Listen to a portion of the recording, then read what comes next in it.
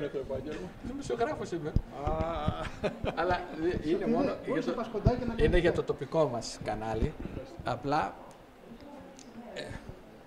Ναι, όχι, εντάξει. Κύριε Κρεμεζή, ε, η Σάμος ε, κατέθεσε, καταθέτει επίσημη υποψηφιότητα για να γίνει η πολιτιστική πρωτεύουσα της Ευρώπης το 2021. Ε, φαίνεται μακριά, αλλά οι προθεσμίες είναι πολύ κοντά που πρέπει και εμείς να προσπαθήσουμε όλοι μαζί. Πιστεύετε ότι το αξίζει;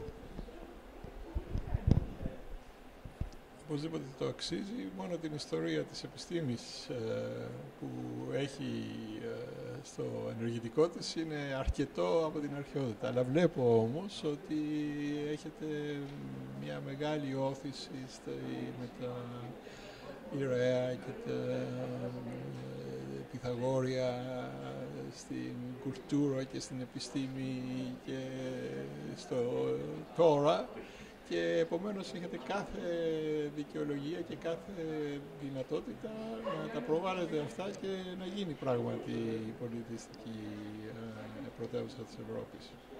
Ευχαριστώ.